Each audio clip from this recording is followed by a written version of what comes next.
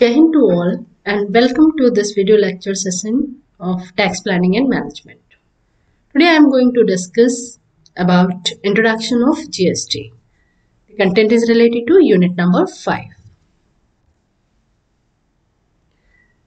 Um, as you know that GST is goods and service tax. It is a central tax, pan-India tax and it was introduced to replace VAT it was introduced uh, in, you can say, on 1st July 2017, right? Uh, before 1st July 17, there was so many different different taxes which are replaced by GST. These taxes uh, are on the, you can say, central taxes are there and few state taxes are there. VAT which is which was replaced by GST was the indirect tax. GST is also indirect tax. So first thing we should understand that what is direct tax and what is indirect tax. Indirect tax is basically the tax which is not directly paid by the user or by the assessee to the government, either state or central. That means he is not directly paying the amount of tax to the government of India but he is paying the tax to somebody with, who is intermediary, who is an agent, who is a mediator or mediation body, and that intermediary body will collect the tax and then finally pay to the government revenue. Example of these tax are VAT, GST, excise duty, service tax, etc. After uh, implementation of GST, excise duty, VAT, service tax, all these are eliminated and there is only one tax. GST has eliminated the cascading effect of taxes on economy. This is the one of the major benefit of the GST. So, if I want to understand GST in detail, I must know the basic features of VAT, which was replaced, right? So, VAT uh, what is the full form? VAT is value added tax. VAT is a tax on the product. The basically it is a consumption tax. It is on product. VAT is tolerated by final consumer. That means the person who is consuming the product. So it is a consumption tax. Companies do not take burden of VAT. Companies is acting as intermediary body. The manufacturer company is inter intermediate body who is collecting VAT from the users and then it is deposited to the government revenue. That's why it is known as indirect tax. In direct tax, what we do, the assessee or the person is directly paying the tax to the government of India. Example is like income tax. The assessee, the person is directly paying the income tax to the government of India. Though um, through the system of deduction, it is a claim fractionally where uh, taxable person can abstract the VAT liability amount which they have already paid on the you can see the material, the con consumables, right, which are used for the business purpose.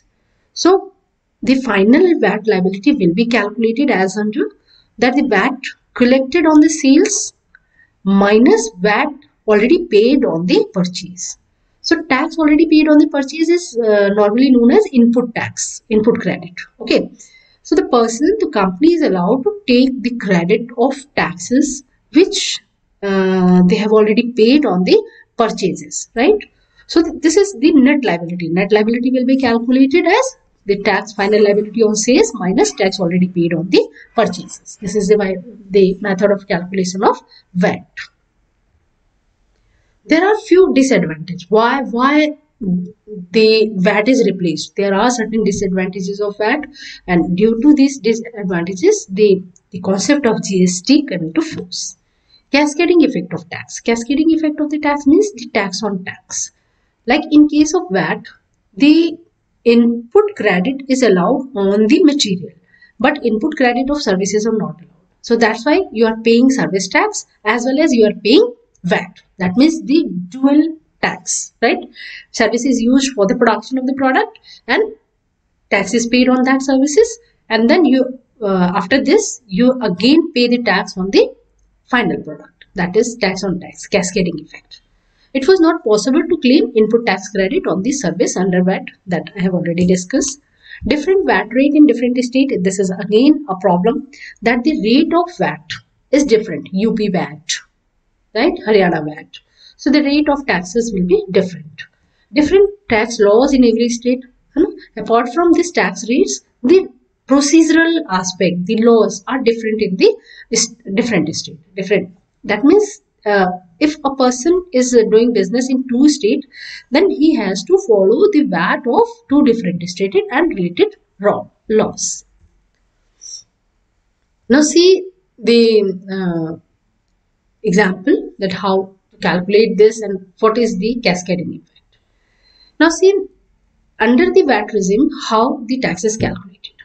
This example is the consultant charge 15% service tax on the services of rupees 70,000 right a consultant who is providing the consultancy services to a company he and the bill of consultant is 70000 so he will charge 15% of the 15% uh, as service tax on the services provided so his output tax was 70000 into 15% that is 10500 then he purchased office supplies for rupees 25 uh, 25000 paying 5% as VAT so the VAT paid is 1250 that is 25% uh, of 25,000. So a businessman who is consuming services as well as he purchase office supplies for stationery for anything else right. So what he do he pay service tax as well as VAT okay. So under VAT regime what happened he has to pay uh, 10,500 output service. Uh, what is getting that? Okay. That means the example says that uh, he is a consultant and he has to pay uh, taxes of 70 uh, 70,000 right? That, that is the final liability okay. And uh, for the office uses he had to purchase supplies for example stationery or uh, the refill of the printer and all for this, uh, on this purchase, he paid VAT at the rate 5%, that is 1250. So, final liability of that person will be how much? Uh, that will be basically he has to pay 10,500 but he is not getting the deduction of 1250 because 1250 is on uh, product and 10,500 is on uh, related to service tax and under VAT regime these two are different okay it means these two cannot be set off sale tax will be set off out of sale tax or VAT sale tax को VAT भी कहते हैं VAT And service tax is set off against service tax only no cross uh, adjustment is allowed in the VAT regime so it is a loss for him he the total tax burden for the person for the consultant is 10,500 plus 1250 the VAT. That means the total tax liability will be 11,750. Okay, that means he has to pay double tax. One is service tax for which uh, that is the tax for providing services and another VAT for the product for the stationery or for the supplies which he, is using for the office purpose. So it is the basically showing the dual impact on the consultant. He is paying service tax as well as VAT, both. Major defects in the structure of indirect tax prior to GST. There are certain other things apart from cascading effect. What are these? We will discuss one by one. Various indirect tax levies such as state VAT, central sale tax known as CST, entry tax, excise duty, countervailing duty, special additional custom duty, luxury tax, entertainment tax, octroi has been replaced by GST. Now see the level of multiple taxation, so many types of taxation, so many procedural aspect. And this because of this a businessman is busy for you can complying all these different different taxes their rules their procedures. This is significant because not only there are different rates under each of these acts the difference was also state wise when it comes to state legislation so if you are living in india you are under central tax as well as state tax. Doubling is there. Now there will be single rate of tax across the country for the same product or service. That is a peace of mind for a businessman. Non-availability of cross utilization of taxes as i have already discussed in the previous example thus there is cross there is um, no cross utilization of the taxes means service tax cannot be utilized the uh, cannot be utilized with the VAT payment so it will create a double burden on the businessman input tax credit will now be available across the board with certain exceptions earlier State VAT tax credit could not be granted against excise. Similarly, there will be issue of tax credit on the goods being taken against service. So these are the hurdles, these are the problems in the structure of the indirect taxes. Next problem is obstructed movement of the goods. There are hurdles for the movement of the goods. There are so many checkposts, so many barriers, right?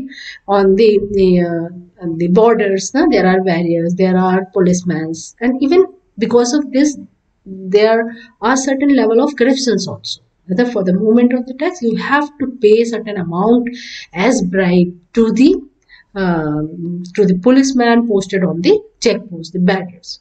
These are creating lots of problems. Next is return filing. Obviously, if you are under so many laws, so many uh, procedures are there, multiple return filing will be there, and it will be time consuming as well as cost effective for a business person. Input tax credit will be granted only on actual payment of invoice to vendor. Earlier, it was not the case. So people would claim credit for taxes even though they didn't pay to the vendor. That is a drawback. That is a problem. And multiple return filing will be there. Multiple repetitive compliances again apart from return filing. There are so many compliances like uh, so many paperwork annexes are there documentation are there and um, you have to file the details. So multiple times you are required to prepare the details according to the requirement of the different so multiplication of the same work same copying and doing lots of work according to the different different acts are there. And it it will create a cost burden because a skilled person is required for doing all these work. So it will create a cost burden on the businessman. So these are few problems. Now after coming gst that means government is trying to remove all, the, all these hurdle all these problems and make a smooth road for the businessman so that there is a ease of doing business in india. So so that the um, indian industry or india is popular destination for the foreign manufacturer also. They can come here do manufacturing right? It will be helpful very helpful for the in any country if you are making a manufacturing hub, hub in india in india right? Or any other country. So um, in the same pace in the same direction the government is moving. He, they want to uh, make the business easy in india right? So that's why they introduced GST. GST is one nation, one tax. One nation, one tax. That means almost GST is replacing 13 taxes. Third, in place of 13 taxes, now you have to work under only one tax regime. So GST is one indirect tax for whole nation, which will make India one unified common market. And this will be you can say that will be very easy for the uh, foreign businessmen also. They come india when they see that there are lots of legislation they have to follow the procedure that will create a negative impact on them. If there is only one law they will be comfortable okay these are the compliances after doing so we will be free and uh, we have peace of mind we'll do our business peacefully in india right? So that is a you can say temptation attraction right? So gst is a positive mood positive mood for them uh, positive direction positive um, steps which are taken by the government of india. Gst is indirect tax. This is replacing i have already told you lot many uh, approximately 13 acts are replaced by uh, the by this GST and these 13 are some are related to central one and some are related to state one which I will be discussing in the latter part of the PPTs. Goods and Service Tax was the Act was passed on 29th March 2017 and came into effect on 1st July 2017. Become a law. It will be, it is enforced on 1st July 2017.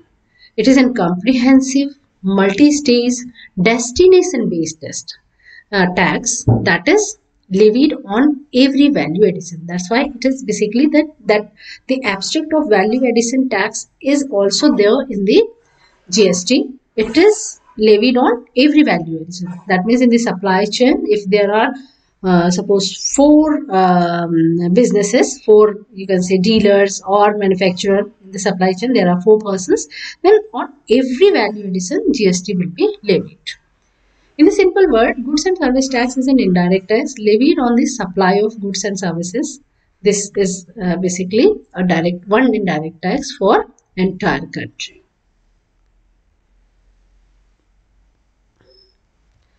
Uh, under GST, input tax credit. Input tax credit means if you are you have already paid GST on the purchases. Purchases can be for raw material, for services, for consumable or for anything that you are allowed to take input credit uh, for the tax paid at each stage and will be available in the subsequent stage of the value addition which makes GST essentially a tax only on the value addition at each stage. Everybody.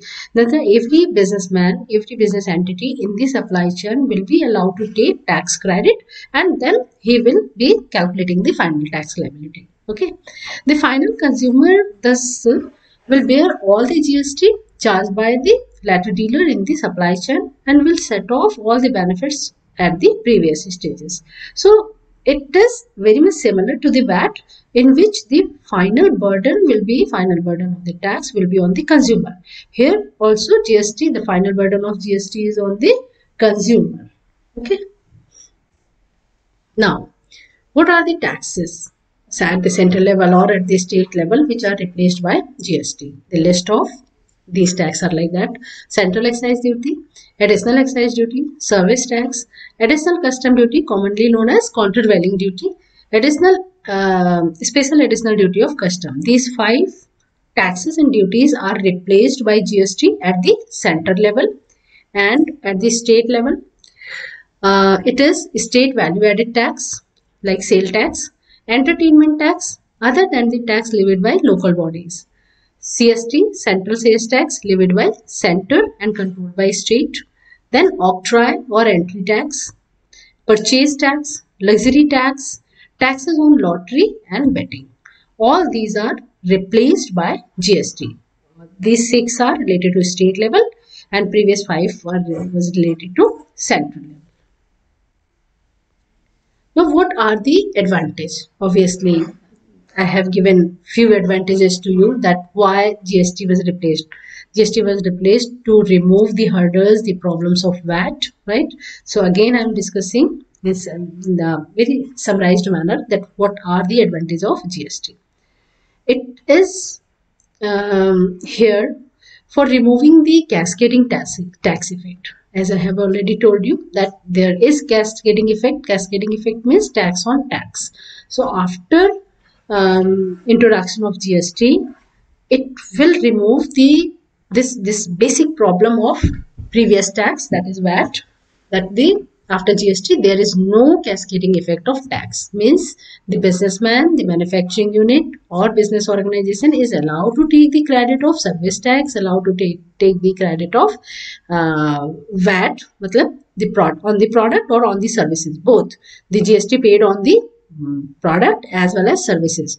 Both are allowed to take as input credit higher threshold for registration there are certain threshold. That means if your sales turnover is more than 20 lakhs then only you are required to register. Less than this that means for the small manufacturer small businessman there is no need of registration under gst composition scheme for small businesses again to promote a small business entrepreneurs in India. Composition schemes are there. These schemes are very, uh, you can say, customer friendly or business friendly. And you, after uh, accepting this, after adopting these schemes, you can eliminate lots of procedure under GST. We will discuss in the uh, another video lecture that what what is composition scheme in detail. I will discuss it. online simple procedure under GST. Now you can register under GST. That procedure is available online. Mm, physical manual registration is not required. The same procedure is very simple, very fast. Uh, quick registration is there, right? Less and uh, the return filing is always online. Then uh, the GST payment can also be done online so there is simplicity in the procedure online uh, submission is easier than the manual it will save lots of time and cost even lesser compliances that means um, gst is basically introduced to remove 11 12 uh, legislatures laws which are there in india so because of one tax one country, one tax in a country, the compliances are lesser, less number of returns are required to file, less documentation is required. That is a very, very, you can say, a boon for the businessman. They can, uh, you can say, lots of time and they can focus on their business activity. Okay. Defined treatment for e-commerce. Yes, GST is applicable on e-commerce like Amazon, like Flipkart and all the e-commerce websites. GST is applicable and the procedure and the provisions are clearly defined in the GST. Increase efficiency in logistic. Yes, that is, that is very, very, you can say very important because of the hurdles on the bar barriers on the borders on checkpost the movement of the goods you can say it's slow. But after removing all these things after introduction of gst these barriers are not there. So the movement of goods movement in the supply chain the logistic efficiency is there. Movement is fast. Another is regulating the unorganized sector you know in india the the level of unorganized sector is very high. So it is basically the the intention of the government that after GST, the unorganized sector will also come under the net of GST and the details, the data will be available, the tax evasion can be removed, unorganized sector can be regulated in a well uh, efficient manner. That is again a benefit of GST to the government. What are the component of GST? Now, this is very important that in India uh, there are three component of GST. First is CGST. CGST is the central part, central part of the GST. It is collected by central government on an inter intrastate, not inter, intrastate sales. That means the sales within state. If a transaction is um, completed within a state, then CGST and SGST will be imposed. CGST will be the part of uh, GST, the central part of the GST, that means the portion of GST which belongs to central government and SGST is the portion of GST which belongs to state government. Okay, the customer will pay both of them CGST and SGST but that will be deposited by the intermediary body in the separate account. So that is the procedure. SGST collected by state government on an intra-state sales. Okay, intra-state sales again within the same state. So this is the component for the state government. Third one is IGST. IGST was there when there is a interstate sale. Interstate sale means if um, um, say businessman sold his goods in UP and buyer is in suppose MP right? So this transaction is interstate because two states are involved up and mp in that situation cgst is gst will not be imposed will not be levied. Igst will be there. Igst is basically the component both the component combined. It will be collected by central government and a part of igst will be further transferred by central government to state government that is the three component of gst this is all the basic introduction of GST. There are so many other things that how to register in GST, what are uh, the procedural requirement, what are the documents, what the documents are needed, what are the types of return, how to file the return, all these procedural aspects we will be discussing in the uh, next two lectures and uh, that will be very helpful for you to understand the GST as a whole. Thank you so much.